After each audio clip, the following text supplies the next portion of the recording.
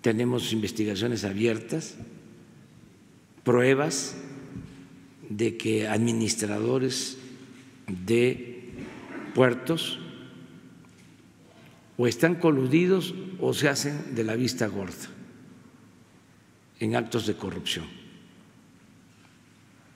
De manera así muy puntual, tenemos una investigación abierta por huachicoleo de combustibles en puertos.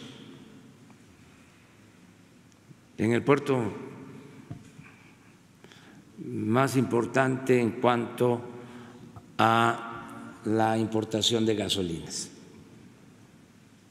No puedo decir más porque está abierta la investigación y vamos a castigar a los responsables. Tenemos todos los elementos, desde que embarcan el combustible hasta eh, la entrega en las gasolineras. Y esto eh, se hace eh,